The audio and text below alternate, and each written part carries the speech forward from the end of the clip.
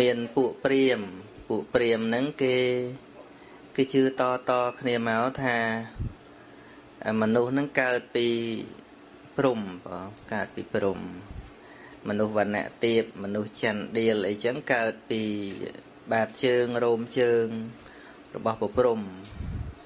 ហើយមនុស្សវណ្ណៈកណ្ដាលហ្នឹងកើតពីពោះពីទ្រូងហើយវណ្ណៈខ្ពស់ដូចជាវណ្ណៈព្រាមអីចឹងកើតពីប្រអោស ណាកើតពីប្រអោសរបស់ប្រព្រំគេមិនហ៊ានថាកើតពីក្បាលប្រព្រំទេត្រូវគឺគឺថាអឺកើតពីប្រអោសអញ្ចឹងហើយបានគេប្រើពាក្យថាព្រំលិខិតហ្នឹងគឺថាដោយប្រព្រំនឹងលិខិតនិយាយយ៉ាងម៉េចឲ្យគេបានប៉ុណ្ណាគឺប៉ុណ្ណឹងនឹងអញ្ចឹងគេថ្លៃធ្នូនឹងអញ្ចឹងហើយព្រះអង្គសួរព្រះអង្គសួរនៅក្នុងវណ្ណៈទាំងឡាយហ្នឹង ដោយពួកព្រាមហ្នឹងគេថាអ្នកដែលអាចសម្រេចកិច្ចការបានខ្ពងខ្ពស់ហ្នឹងគឺពួកព្រាមឯក្រៅពីហ្នឹងអត់បានទេវណ្ណៈដតីហ្នឹងគឺมันអាចសម្រេចកិច្ចការអីបានទេព្រះអង្គបានប្រៀបធៀបជាមួយនឹងភ្លើងប៉ុន្តែមុននឹងប្រៀបធៀបព្រះអង្គសួរថាចុះអ្នកឯងកើតពីណាអ្នកឯងអ្នកឯងនឹងកើតពីណាថាកើតពីព្រាមណីដែលជាម្ដាយ ហើយចុះម្ដាយអ្នកឯងនឹងកើតពីណាដែលកើតពីយាយហើយចុះយាយអ្នកឯងនឹងកើតពីណាកើតពីយាយទួតហើយយាយទួតនឹងកើតពីណាកើតពីម៉ែគាត់បន្តបន្តគ្នាអញ្ចឹងណាហើយរឿងវាច្បាស់ចេះអញ្ចឹងឯនាំគ្នាថាពួកណែឯងនឹងកើតពីព្រំចាំមិនមនុស្សអញ្ចឹងមិនមែនឆោតតែលើទេណាណាពីសម័យព្រះហ្នឹងក៏ទៅឆោតអញ្ចឹងដែរណា កើតបន្តបន្តគ្នាអញ្ចឹងបាទសំបីវិទ្យាសាស្ត្រហ្នឹងក៏គេនិយាយអំពីជាតិដែលវាមនុស្សសត្វនឹងវាប្រែប្រួលមកយ៉ាងម៉េចយ៉ាងម៉េចវាបន្តជាតិគ្នាមកអញ្ចឹងបាទណាហើយហើយនាំគ្នានិយាយទាំងនិយាយហើយនិយាយទៀតថាព្រះបកើតព្រះបកើតព្រំបកើតព្រំបកើតប៉ុន្តែទីបំផុតកើតពីម៉ែសោះនឹងចឹងពាក្យងាយងាយងាយងាយចឹងហើយ បានព្រះអង្គថាពួកអ្នកឯងហ្នឹងមិនខុសអំពីមនុស្សខ្វាក់ដើរតាមមនុស្សខ្វាក់បាទហ្នឹង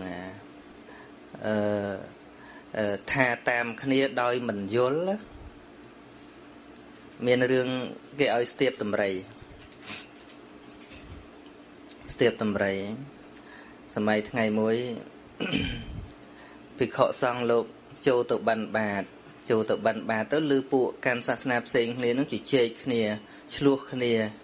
តែមានតែសាសនាខ្ញុំនេះទេដែលត្រូវសាសនាណឯងហ្នឹងវាមិនត្រូវលទ្ធិខ្ញុំទេត្រូវលទ្ធិណឯងហ្នឹងមិនត្រូវហើយបានមកទូលព្រះអង្គទៅព្រះអង្គថាមនុស្សទាំងអស់គ្នានឹងមិនខុសអំពីមនុស្សខ្វាក់ដើរតាមមនុស្សខ្វាក់ទេ បានព្រះអង្គលើកអំពីសម័យថ្ងៃមួយពរាជាក្រុងពរាណសីនឹង យកមនុស្សខ្វាក់ពីកំណើតមិនមិនធំហើយបានខ្វាក់ទេគឺថាខ្វាក់ពីកំណើតឲ្យមកស្ទាបតម្រៃណាខ្លះស្ទាបចំជើងខ្លះស្ទាបចំប្រម៉ោយខ្លះស្ទាបចំស្លឹកតាជាខ្លះស្ទាបចំពោះខ្លះស្ទាបចំកតុយអញ្ចឹងទៅ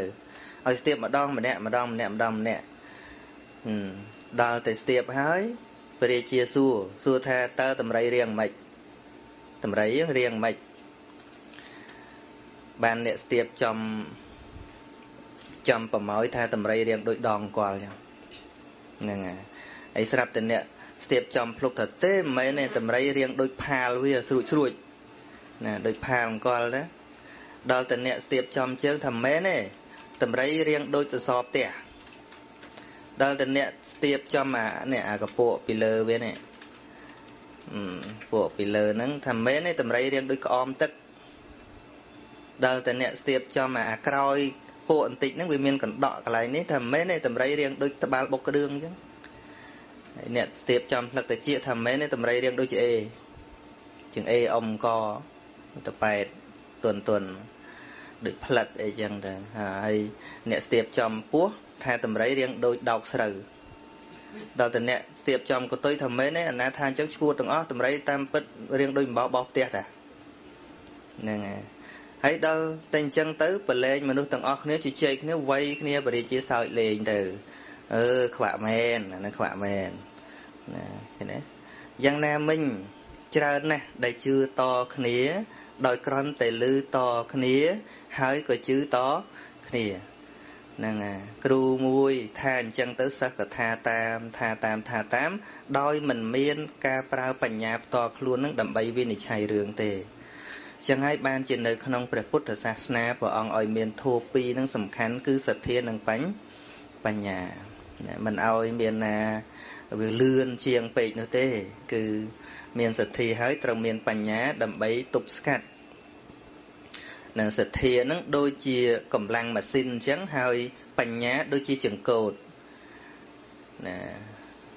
បើកឡានគឺថាសទ្ធាមានកម្លាំង ដើម្បីនាំសម្ពយុទ្ធធัวផ្សេងផ្សេងហ្នឹងដាស់តឿនសតិស្មារតីដាស់តឿនចិត្តគំនិតដែលធ្លាប់តែស្ទក់នឹងឲ្យវាមានសន្ទុះទៅនៅក្នុងរឿងអីមួយឲ្យជឿទៅក្នុងអីមួយក៏ប៉ុន្តែมันអាចខ្វះខាតបញ្ញាបានទេអញ្ចឹងឡាននឹងម៉ាស៊ីនលឿនយ៉ាងណាក៏ដោយចុះប្រសិនបើខ្វះការកាត់ចង្កូតត្រឹមត្រូវទេប្រកាសជាចាញ់អ្នកជិះកង់ហើយជើវាធ្លាក់ជ្រុះហើយទៅមុខមិនទៀតមែនទេ ហ្នឹងហើយអញ្ចឹងបានថាបញ្ញាហ្នឹងសំខាន់ណាស់ហើយបញ្ញាមិនមែនបានមកដោយការបន់ស្រន់វកទេគឺកើតឡើងដោយហេតុ3ទី1គឺសតមយៈបញ្ញា ផ្ដើមពីការស្ដាប់នឹងឯងណាពីការស្ដាប់ឲ្យយល់នឹងឯងបញ្ញាកើតពីការស្ដាប់និយាយទៅព្រះសម្មាសម្ពុទ្ធព្រះអង្គឲ្យបើកសោតៈគឺតិចនឹងតែម្ដងបង នៅពេលដែលព្រះអង្គព្រមដើម្បីសម្ដែងព្រះធម៌ព្រះអង្គថាទ្វារនៃព្រះនិព្វានបើកហើយសត្វដែលមានសោតៈនេះគឺតិចនេះចូលបញ្ចេញនៅដៃគឺសទ្ធាមកចុះដើម្បីទទួលយកនៅព្រះធម៌ណាក្រៅអំពីការទទួលនៅព្រះធម៌ដោយសទ្ធាហើយមានតិចស្ដាប់នឹងมันមានវិធីសាស្ត្រអីផ្សេងទេពីព្រោះនៅក្នុងយើងទាំងអស់គ្នានឹង វាមិនអាចទៅដល់គោលដៅដោយបញ្ញាពីរតែម្ដងដោយចិនតាមរយៈគិតខ្លួនឯងហើយនឹងភាវនាដោយខ្លួនឯងបានទេរឿងបុគ្គលដែលទៅដល់គោលដៅបានដោយអាស្រ័យតែចិនតាមរយៈដោយការគិតពិចារណាខ្លួនឯងហើយនឹងភាវនាមយៈនឹង គឺមានតែបុគ្គលពីរពួកទេគឺព្រះសម្មាសម្ពុទ្ធហើយនិងព្រះបច្ចេកពុទ្ធក្រៅពីនោះត្រឹមព្រះសរិបុត្រប្រមោកលៀនចុះមកនឹង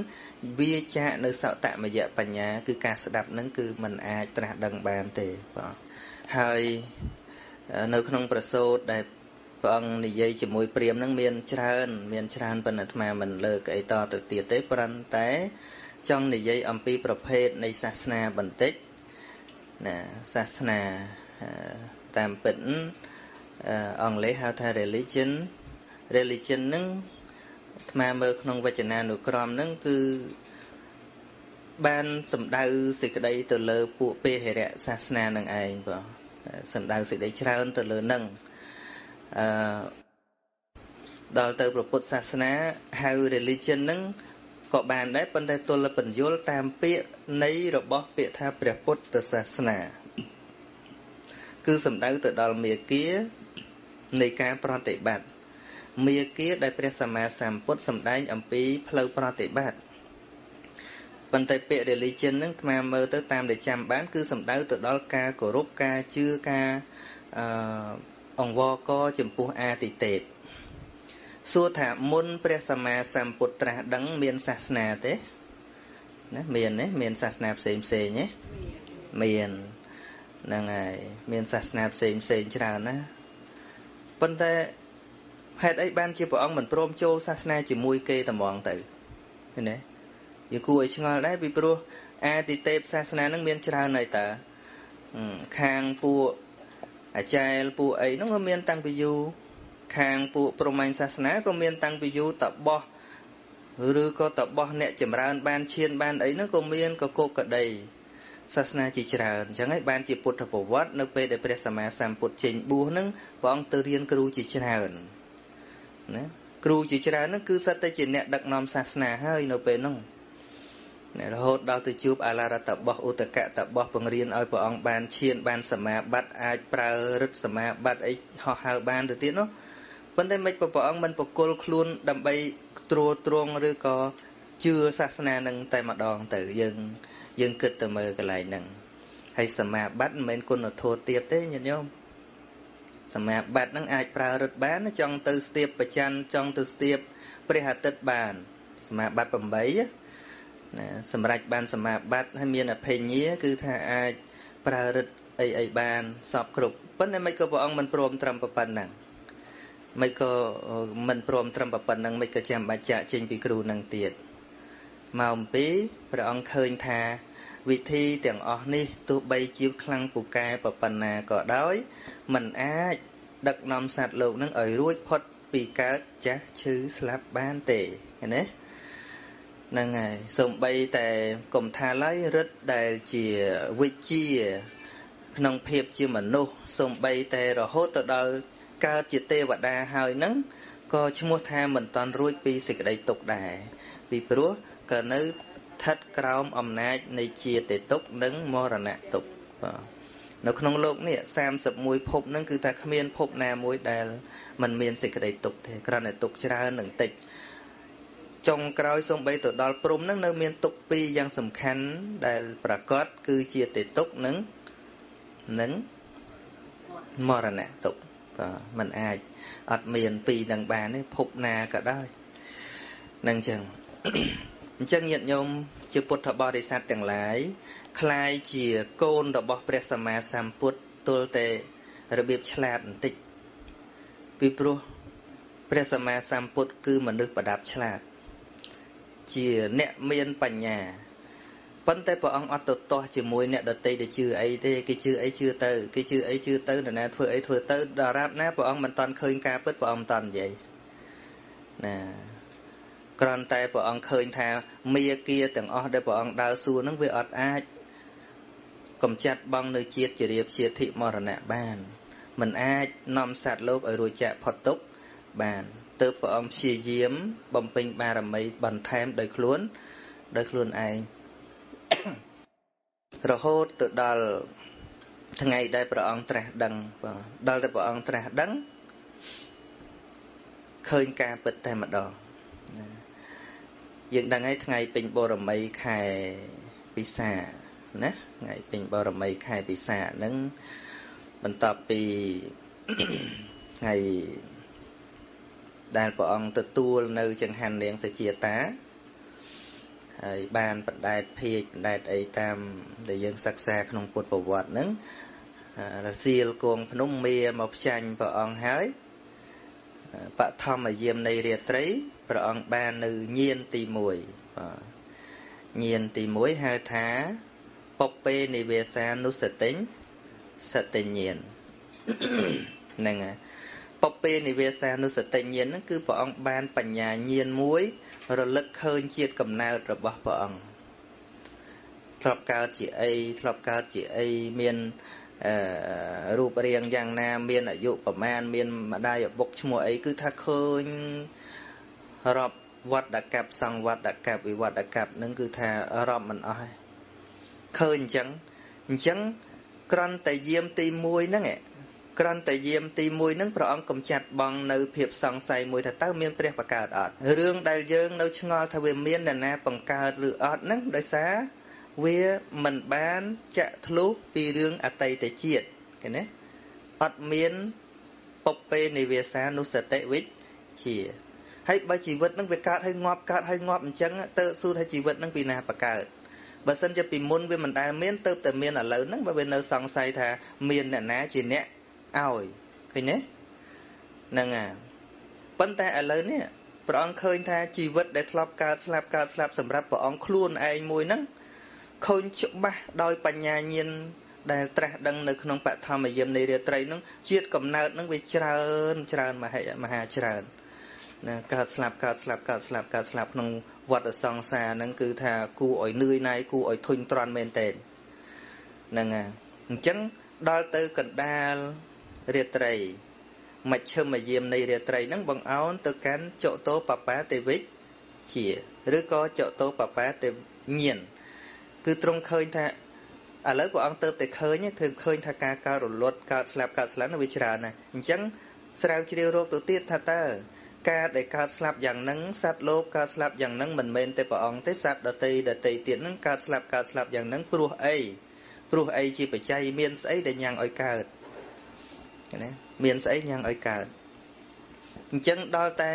ញៀននឹងប្រជៈច្បាស់មកស្រាប់តែឃើញទៅដល់ចេតនាកម្មណាចេតនាកម្មរបស់សត្វលោកក្នុងមួយជាតិមួយជាតិនឹងបានធ្វើកម្មអីសត្វលោកក៏វិលទៅតាមកម្មនឹងដូចជាអឺ កង់រត់អន្ទោលតាមជើងគោដែលបទៅមុខអញ្ចឹងណាណាចកាំងវវហតោបទាំងកម្មដែលសត្វលោកធ្វើល្អក្តីអាក្រក់ក្តីហ្នឹងវាតែងតែអន្ទោលទៅតាមសត្វលោកឲ្យបដិសន្ធិសត្វលោកឲ្យសេចក្តីសុខទុក្ខសត្វលោក នៅក្នុងសង្សារវដ្តនឹងប្រៀបដូចជាចក្ររតនឹងតែងតែអន្ទោលទៅតាមស្នាមជើងគោដែលដែលបទៅនឹងអញ្ចឹងបាទនេះច្បាស់ ច្បាស់លាស់ហើយកុំនរណាមកនិយាយប្រាប់ព្រះអង្គថាមានអ្នកនេះបកើតនៅនោះបកើតទីវាវាវាបាត់អាការយល់អញ្ចឹងអស់ទៅណាណាកុំថាឡើយទៅលើថាមានសេចក្តីសង្ស័យឬក៏ជឿសំបីតែឆ្ងល់បន្តិចបន្តួចហ្នឹងគឺវាអស់ឆ្ងល់ទៅដូចញាតិញោមធ្លាប់តែឆ្ងល់ថាអឺនៅក្នុងវិទ្យុនឹងនៅពេលដែលយើងចាក់ទៅវាវាលឺសំឡេងអី តើមនុស្សនៅក្នុងនឹងប៉ុណ្ណាដល់តែញាតិញោមបើកមើលគ្រឿងវាអស់ទៅវាមានតែគ្រឿងអេឡិចត្រូនិកអត់មានឃើញមនុស្សអីអញ្ចឹងហើយបើនរណាមកកុហកថានៅក្នុងនឹងវាមានមនុស្សទៀតជឿដែរហ្នឹងហើយដូចអាពីក្មេងពីក្មេងដើរទៅវត្តហើយអាសួរញោមប្រុសថាឪតើមនុស្សដែលវាច្រៀងក្នុងមេក្រូហ្នឹងវាប៉ិនប៉ិនម៉ានឪអីក៏លឺខ្លាំងម៉េះណាឆ្ងល់ពីក្មេងមែនទេមកឆ្ងល់អញ្ចឹង ខ្ញុំអើយគ្រូវាគេឆាញប៉ិនហ្នឹងវាមានអាស្នូលកដាលអញ្ចឹងទៀតមកហើយហើយយូរយូរឃើញមេក្រូម្ដងកាលហ្នឹងហើយបានញោមប្រុសក៏ប្រកាសទៀតឆ្លើយភ្លាមមនុស្សក្នុងហ្នឹងមិនមែនដូចមនុស្សយើងធម្មតាទេមនុស្សសមនុស្សខ្ទើយពងក្តោបវាទូចទូចប៉ិនប៉ិនផ្សៃលបើងគាត់និយាយចឹងហើយក៏ជឿទៅឃើញទេជឿទៅហ្នឹងហើយរហូតជឿអស់ប្រហែលឆ្នាំមិនមែនជឿលេងលេងទេណាហ្នឹងហើយអញ្ចឹង ហេតុដែលជឿអញ្ចឹងដោយសារអីដោយសារយើងវាអត់តន់មានចំណេះអីអត់តន់មានបញ្ញាអីមិនតន់រកឃើញស្អីបានជាជឿអញ្ចឹងទៅណារឿងជឿហ្នឹងវាអញ្ចឹងរហូតដល់តែញោមទិញមួយញេមួយហើយចាក់ផងចេះថតផងចេះច្រៀងថតទៅទៀតនឹកឃើញអូចាញ់បោកឪបាត់ឃើញទេហ្នឹងឪឈរលេងសោះ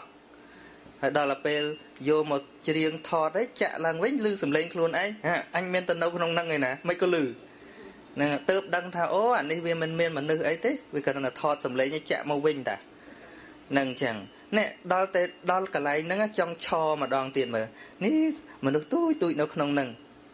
យល់ថាអញ្ចឹងទៀតទេជឿថាអញ្ចឹងទៀតទេហ្នឹងរឿងហ្នឹងសំខាន់គឺការមានបញ្ញាដឹងច្បាស់តែដឹងច្បាស់ហើយនរណា មកកុហកនរណាមកប្រឆោតអីទៀតមិនបានទេ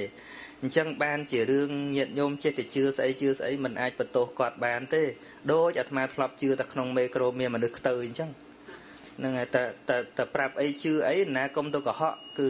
មិនបាច់ទៅឆមិនបាច់ទៅកែងាយទេរហូតដល់តែគាត់ស្ទាបទៅវាប៉ះខ្លួនឯងថាអូវាគ្មានអីសោះអានឹងបានព្រមមែនទេ ប៉ុន្តែការស្ទាបពលត្រូវពធនេះមិនមែនទៅស្ទាបដោយកាយឬក៏ទៅមើលដោយភ្នែកទេគឺនេះយកទៅជាយកទៅស្ដាប់ហើយឲ្យបញ្ជូនមកដល់ផ្លូវចិត្តឲ្យបញ្ញាធ្វើកិច្ចពិចារពិចារណានឹងចឹងហើយបើស្ដាប់មិនពិចារណាទេយកជឿយកមកដាក់ខាងមុខទៅទៀតហើយណាព្រះសម្មាសម្ពុទ្ធព្រះអង្គទ្រង់ត្រាស់សម្ដែងបុគ្គលអន់មាន4ពួកញាតិញោម ទី1គឺបុគ្គលងាយជឿឬក៏ជឿងាយជឿងាយមានន័យតែងាយជឿនិយាយអីស្ដាប់ទៅជឿនឹងប្រាប់អីជឿនឹងអត់ពិចារណាសោះណាបុគ្គលបែបហ្នឹងមិនមែនជាបុគ្គលថ្នាក់ខ្ពស់ទេ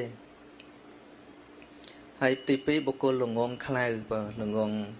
ស្ដាប់អីក៏មិនយល់ស្ដាប់អីពិចារណាមិនបាន គឺមិនងាយក្នុងការដែលពធនឹងជួយបានទេ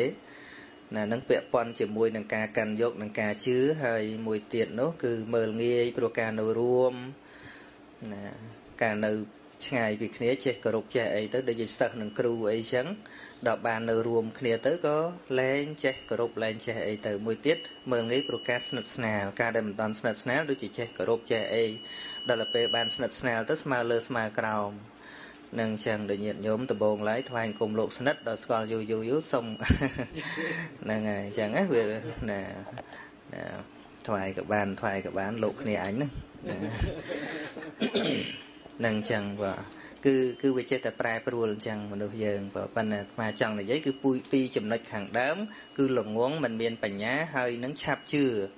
ហើយតែឆាប់ជឿគឺហើយក៏ឆាប់យល់ខុសដែរតែបើមិនងាយជឿ មិនងាយជឿកុំមិនស្ដាប់ណាអ្នកខ្លះមិនងាយជឿដែរតែខ្ជិលស្ដាប់អាហ្នឹងក៏យ៉ាប់ដែរណាមិនងាយជឿក៏ប៉ុន្តែត្រូវតែស្ដាប់ហើយពិចារពិចារណា តាមដានវាទៅវាមានស្អីនៅក្នុងនឹងដូចជាធัวរបស់ព្រះសម្មាសម្ពុទ្ធអញ្ចឹងយើងមិនអាចបង្ងើយកតាយបានទេយើង យើងយ៉ាងហោចណាស់ក៏មានចម្ងល់ឆ្ងល់ថាហេតុអីបានជាវាទៈរបស់ព្រះអង្គហ្នឹងការបង្រៀនរបស់ព្រះអង្គហ្នឹងគេរក្សាទុកអស់ច្រើនពាន់ឆ្នាំម្លេះអមនុស្សមិនតែស្រុកយើងមិនតែស្រុកខ្មែរនៅក្នុងពិភពលោកមានប្រទេសដែលច្រើនដែលច្រើនហើយឥឡូវហ្នឹងនៅអាមេរិកនៅស្អីស្អីហ្នឹងកំពុងតែបង្កើតមណ្ឌលវិបស្សនាច្រើនច្រើនទៀតណាអ្វីត្បិតថាវាមិនតន់ជាចំនួនច្រើនបើប្រៀបជាមួយនឹងសាសនាដទៃមែនប៉ុន្តែកំណើនពីមួយឆ្នាំទៅមួយឆ្នាំច្រើនណា រាប់រយកន្លែងបាទនឹងសរុបដូចនៅអង់គ្លេសអីមាន200កន្លែងជាងកន្លែងមណ្ឌលពុទ្ធសាសនាហេតុអីបានជាសូម្បីតែអ្នកវិទ្យាសាស្ត្រក៏គេទទួលយកនៅអវាទរបស់ព្រះសម្មាសម្ពុទ្ធមិនបានអីយើងឆ្ងល់បន្តិចប៉ុណ្ណឹងដែរណាហេតុអីបានជាអ្នកប្រាជ្ញយើងសម័យពីដើមដូចជាសម្ដេចព្រះសង្ឃរាជជួនណាតដែលអ្នកប្រាជ្ញខាងពុទ្ធសាសនាគេទទួលស្គាល់លោកថាជាអ្នកប្រាជ្ញសតវត្សទី20ហ្នឹងលោក យកពុទ្ធសាសនានឹងជាគោលដៅរបស់លោកណាហើយយើងឯណាទៅបានប្រហែលសម្ដេចព្រះសង្ឃរាជនោះហើយលោកជាអ្នកប្រាជ្ញអញ្ចឹងហើយលោកបានទទួលស្គាល់យកនៅពុទ្ធសាសនាក៏ដាក់ខ្លួនជាសាវករបស់ព្រះសម្មាសម្ពុទ្ធដែរនោះ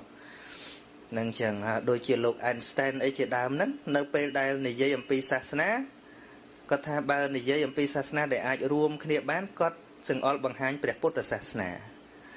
នឹងចឹងហោដូចជាអ្នកប្រាជ្ញ ខាងអី iPhone iPod អីនោះនៅស្អី Steven ដល់ចុងក្រោយជីវិតរបស់គាត់គាត់កាន់ពុទ្ធសាសនានឹងអានឹងយើងគូគូភ្ញាក់រលឹកមើលតនឹងថាបើសិនជានៅក្នុងនឹងវាអត់មានអីអស្ចារ្យទេសួរថាអ្នកប្រាជ្ញអញ្ចឹងអញ្ចឹងគេមកទទួលស្គាល់ពុទ្ធទេអាដូចជាញាណទី2ដែលព្រះអង្គបានត្រាស់ដឹងហ្នឹងគឺថាឃើញកម្មណាវត្តតីលោកោនឹងតែម្ដងបង ការបដិសន្ធិនិងចតិរបស់សត្វលោកនឹងឃើញនឹងឃើញរបៀបដូចថាព្រះអង្គឡើងទៅលើភ្នំខ្ពស់ហើយអត់មានដើមឈើរាំងឃើញមនុស្សនេះដើរពីនេះទៅនេះមនុស្សនេះដើរទៅនេះនេះគឺថាឃើញច្បាស់អញ្ចឹងដូចតាសមែលឆ្លោះអញ្ចឹងណាអត់មានអីកំបាំងប្រញានរបស់ព្រះអង្គទេណាហើយដល់តែឃើញអញ្ចឹងអ្នកណាមកផ្សាយថាអ្នកណាមកបង្កើតសត្វលោកនឹងទៀតព្រះអង្គទទួលយកមិនបានហើយមិនមិន មានអ្នកណាឃើញមុនព្រះអង្គទេនៅក្នុងពុទ្ធបាតហ្នឹងមេដាបេដាព្រះអង្គមិនមែនថាអត់មានសាសនាឯណាគោរពតែព្រាមដែរហ្នឹងគោរពតែព្រហ្មញ្ញសាសនាដែរហ្នឹងម្ដាយរបស់ព្រះសរិបុត្រអីនេះអូខ្លាំងណាស់ញាតិញោមម្ដាយរបស់ព្រះសរិបុត្រយ៉ាប់និយាយយ៉ាប់ជាងញោមអាត្មាឆ្ងាយមែនទេមែនម្ដាយរបស់ព្រះសរិបុត្រហ្នឹងហើយតាំងពីព្រះសរិបុត្រទៅបួសបានជាអគ្គសាវកហើយកុំណាមករំលឹកអូខ្ពើម ណាគ្មានយល់គ្មានស្របគ្មានអនុមោទនាអីទេរហូតដល់ថ្ងៃព្រះសរិបុត្របរិនិព្វានដែរបានភ្ញាក់ខ្លួននោះយើងគិតមើលយើងគិតមើលព្រះសរិបុត្រខ្លាយជាអគ្គសាវកឲ្យបងប្អូនព្រះសរិបុត្រសិតតែបានសម្រេចព្រះរហន្តទៀតហ្នឹងហើយម្ដាយនៅតែគោរពព្រហ្មញ្ញអញ្ចឹងនៅតែព្រះអើយព្រះអើយរហូតហ្នឹងហ្នឹងហើយរហូតដល់ថ្ងៃលោកបរិនិព្វានទៅមកដល់ផ្ទះមកបរិនិព្វានកន្លែងលោកបសោតហ្នឹងបាននិយាយជាមួយម៉ែបានោះនឹងហើយ ពិបាកនិយាយជាងញោមស្មាឆ្ងាយបើគិតមើលមែនទេហ្នឹងហើយអញ្ចឹងការដែលដូរអំពីការយល់ខុសមករកការយល់ត្រូវវាមិនមែនជារឿងក្បត់អីនោះទេអត់មានជារឿងក្បត់អត់មានជារឿងបំបត្តិប្រពៃណីវាអត់មានរឿងអីទេឧទាហរណ៍ថាយើងធ្លាប់ឈឺអញ្ចឹងឧទាហរណ៍ឧទាហរណ៍ថាសម័យពីដើម សម័យពីដើមឈឺឲ្យតែឈឺយើងបន់អ្នកតាណាចុកពោះថាអ្នកតាធ្វើចោះ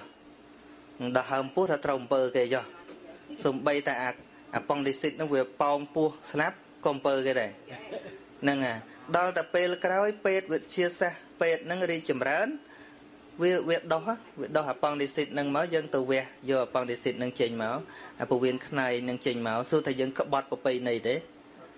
ណាយើងក្បត់ប្រពៃណីទេ អយើងទៅ មានជាតិបរតជាតិអីទៅសម័យក5អីហ្នឹងទៅមកវិញចាញ់គ្មានអីមានតែលៀងអរិយហ្នឹងនឹងហើយដល់ទៅពេលពេទ្យរីកចម្រើនទៅគេដាក់ថ្នាំគីនីនព្យាបាលរោគគ្រុនចាញ់ជាទៅសួរថាគ្រាន់តែប្រើរោគថ្នាំបំបត្តិគ្រុនចាញ់អញ្ចឹងសួរថាតើជាការក្បត់អ្វីដែលយើងធ្លាប់ធ្វើដែរឬទេ វាមិនមែនទេ គឺស្វែងរកសេចក្តីរីកចម្រើននៅក្នុងជីវិតយ៉ាងណាមិញ ជំងឺផ្លូវចិត្តរបស់សត្វលោកហ្នឹងក៏ត្រូវតែមានវិធីសាស្ត្រក្នុងការព្យាបាលយ៉ាងសមស្របមួយហើយប្រសិនបើក្រន់តែការផ្លាស់ប្ដូរពីខុសទៅត្រូវនឹងវាខុសជាងពុទ្ធខុសមុនគេពីព្រោះព្រះអង្គជាអ្នកផ្លាស់ប្ដូរផ្នត់គំនិតមនុស្សទាំងឡាយញាតិញោមព្រះសម្មាសម្ពុទ្ធនោះគឺជាអ្នកបដិវត្តលើសនរណាទាំងអស់គឺជាការ ផ្លាស់ប្ដូរនៅផ្នត់គំនិតដែលធ្លាប់តែជឿថាអ្វីអ្វីវាអត់មាននៅលើអំពើខ្លួនឯងទេវានៅលើព្រះនេះព្រះនោះឲ្យហើយដល់តែព្រះអង្គត្រាស់ដឹងមកឃើញថាសត្វបានយ៉ាងណាយ៉ាងណាទៅតាមអំពើកម្មរបស់ខ្លួនខ្លួនឯងឃើញទេនឹងអញ្ចឹងអឺហើយនិយាយឲ្យវាយុត្តិធម៌បន្តិចទៅ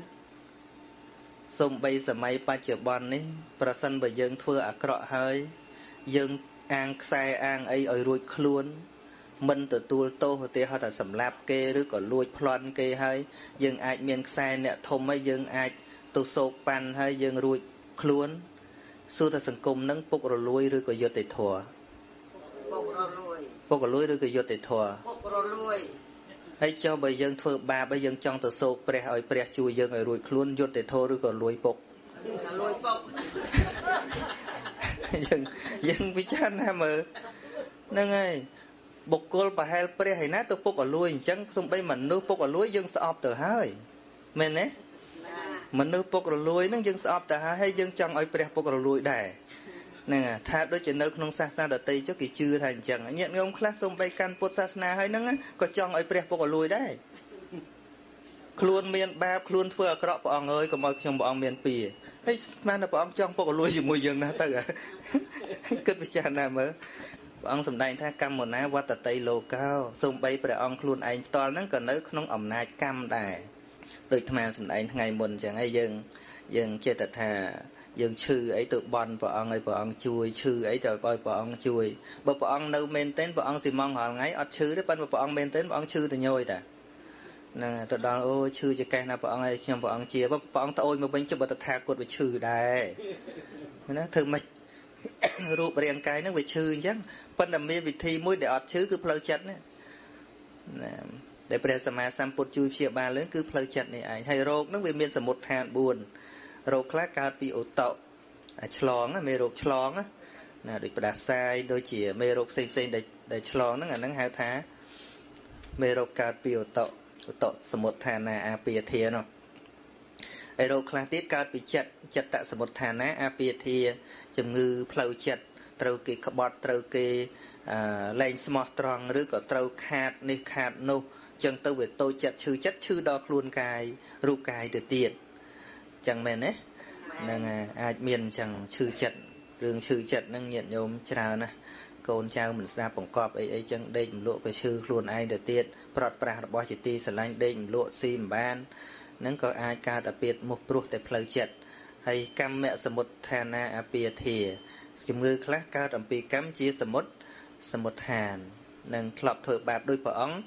ព្រះអង្គអាពាតភាកច្រើនគឺដោយជំងឺកម្មដូចជាព្រះអង្គធ្លាប់បោកចំបាប់ធ្វើឲ្យគេក្រិចចកេះពីជាតិមុននោះសូម្បីមកត្រាស់ជាពុទ្ធនោះក៏ព្រះអង្គឈឺចកេះកិច្ចទៅណា បើព្រះកិច្ចមិនរួចផងណាញាតិញោមរៀនយូរយូរទៅគឺថាច្បាស់លាស់អ្នកដែលច្បាស់លាស់នឹងធัวព្រះសម្មាសម្ពុទ្ធណាញាតិញោមសូម្បីឃើញទេវតាចុះមកទាំងរស់ក៏អត់ភ្ញាក់ផ្អើលដែរអានឹងឈ្មោះថាចេះធัวព្រះសម្មាសម្ពុទ្ធហើយហើយមានខ្លួនឯងជាទីពឹងហើយទោះបីទេវតាមកទាំងរស់ហ្នឹងមកមកទៅមកស្ដាប់ខ្លួនមួយគ្នាមកអង្គុយមកហៅធម្មតាអញ្ចឹងមិនបាច់ទៅរកជែករកអីឲ្យទេវតា ទេវតាឥឡូវឃើញទេវតាមួយឃីវសងាត់មកជីងភ្លើងមកអូទៅនាំគ្នាថ្វាយគុំថាមិនចេះធัวទេអាត្មាលើកឧទាហរណ៍ដូចជារឿងអនាថបណ្ឌិកសេដ្ឋីអនាថបណ្ឌិកសេដ្ឋីគាត់ធ្វើទានរហូតដល់ទៅអស់ទ្រព្យសម្បត្តិហើយគាត់អង្គុយមើលប្រច័នអញ្ចឹងពេលយប់ពេញបរមី នាងទេពធីតាម្នាក់ហ្នឹងដែលនៅអាស្រ័យខ្លងទ្វារគាត់ហ្នឹង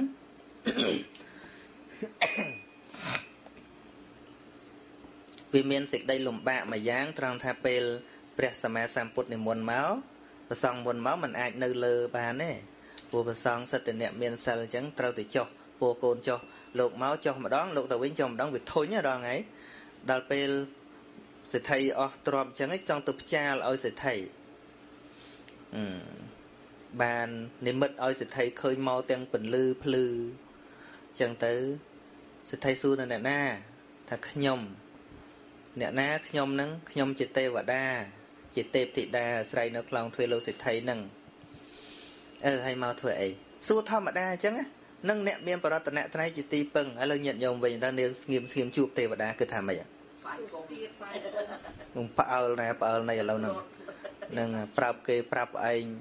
បនទឹកបនដីពេញនឹងឥឡូវហ្នឹង ប៉ុន្តែអ្នកដែលមានបរតនត្រ័យជាទីពឹងចង់ឲ្យទេវតាមកមកទៅរបៀបដូចជាថាញាតិញោមស្គាល់អស់តាំងពីអ្នកមានដល់អ្នកក្រអញ្ចឹងណាទីហោយើងដើរតាមផ្លូវយើងជិះកង់ស្រុកនេះមិនសូវជិះកង់តែឧទាហរណ៍យើងជិះកង់ឥឡូវឃើញគេជា Alon Cruiser ជិះជិះទៅបោះគេហ្នឹងហ្នឹងហើយឃើញគេពាក់ខ្សែក៏មានមានទៅបោះគេហ្នឹងដូចយើងឃើញទេវតាទេវតាទេវតាទៅព្រោះគេមានបុណ្យគេបានជាទេវតាអញ្ចឹងហ្នឹងរឿងរបស់គេតើមែនឬមែន ហ្នឹងហើយហើយដល់តែគាត់ឃើញទេវតាទេពធីតាអញ្ចឹងគាត់សួរធម្មតាមកធ្វើអីណាមកធ្វើអីខ្ញុំចង់ឲ្យអាវាតលោកសេដ្ឋីអើមិនមានអាវាតអីឲ្យមកបានគេបដៅថាលោកសេដ្ឋីនៅមិនតាន់ដឹងខ្លួនទៀតទេធ្លាក់ខ្លួនក្រអត់ដឹងទេគឺមកពីធ្វើទៀនដល់សាមណៈតងល់តងល់ហ្នឹងណារាល់តែថ្ងៃមួយថ្ងៃ2000អង្គ2000អង្គហើយលោកអស់ហ្នឹងបានប្រយោជន៍អីស៊ីឲ្យទៅវត្តវិញដេក ហើយលោកសេដ្ឋីល្មមដឹងខ្លួនហើយខំរកទ្រព្យសម្បត្តិបំពេញឃ្លាំងវិញទៅឈប់ធ្វើទៀនធ្វើអីជាមួយលោកហ្នឹងទៅហើយបានលោកសេដ្ឋីថាអូនឹងនឹងអវាទរបស់ណែឯងហ្នឹងហ៎ថាហ្នឹងហើយអើបើធៀបមិនត្រូវជាមួយយើងតែពីថ្ងៃហ្នឹងទៅឈប់នៅខ្លងទ្វាអញទៀតទៅទៅទៅទៅ